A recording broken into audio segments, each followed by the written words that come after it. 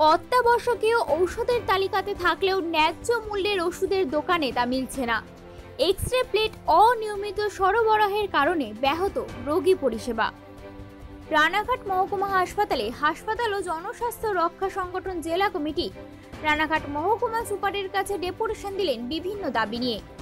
সংগঠনের পক্ষ থেকে জানানো হয়, আজ মহকুমা হাসপাতালে দেওয়ার পর আগামীকাল কৃষ্ণনগর সদর হাসপাতালেও ডেপুটেশন দেওয়া হবে।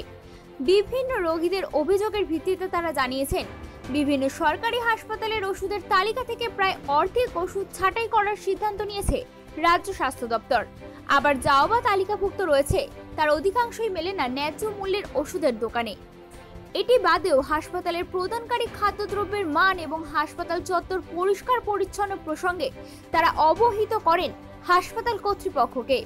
বিভিন্ন সমস্যার মধ্যে জ্বলন্ত সমস্যা হিসেবে তুলে ধরেন দীর্ঘদিন ধরেই এক্স রে প্লেট সরবরাহ নেই। তার ফলে অস্থি সংক্রান্ত রোগীদের হয়রানির শেষ নেই। অথচ হাসপাতাল সংলগ্ন বিভিন্ন এক্স রে দোকানগুলি বেশি মূল্য নিয়ে ব্যবসা করছে রমরমিয়ে।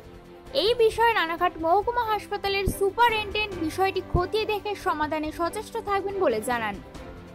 নিয়ে নিয়ে এসেছিলেন।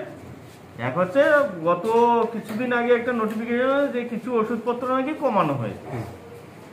মানে এসেনশিয়াল ড্রাগ লিস্টে কিছু ওষুধ নাকি কমানো হয়েছে। আর দ্বিতীয়ত হচ্ছে যে নদিয়া জেলায় অনেক জায়গায় ইয়ে একটা এক্স রে ফিল্ম নিয়ে একটা সমস্যা হচ্ছে। সাপ্লাইটা রেগুলার নিয়ে আর তিন নম্বর দাবি যেটা, যে সব পেশেন্টকে বিনামূল্যে ওষুধপত্র বা ফ্রি ট্রিটমেন্ট দিতে হবে।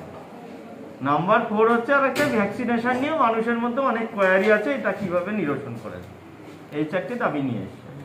ঠিক আছে। নদিয়া থেকে মলয়দের রিপোর্ট টাইমস বাংলা।